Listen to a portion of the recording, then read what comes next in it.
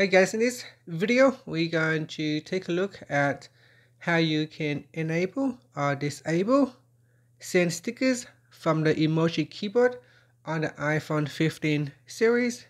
First, let's go back to the home screen by swiping up at the bottom of the screen. And on the home screen, tap on settings.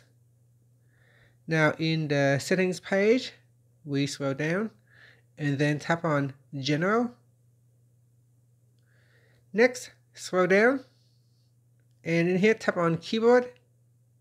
After that, scroll down to the bottom and in the emoji section, tap on the stickers toggle button to turn it off or switch it on. Once this is turned on, you can send stickers from the emoji keyboard. And that's it. Finally, you can swipe up to go back to home screen.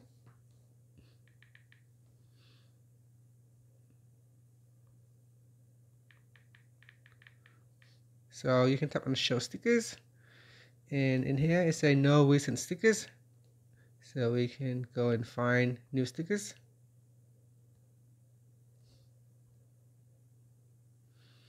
And here I can then um, add in stickers to my uh, note uh, in here. And that's it. Finally, you can swipe up to go back to the home screen. Thank you for watching this video. Please like and subscribe to my channel for more videos.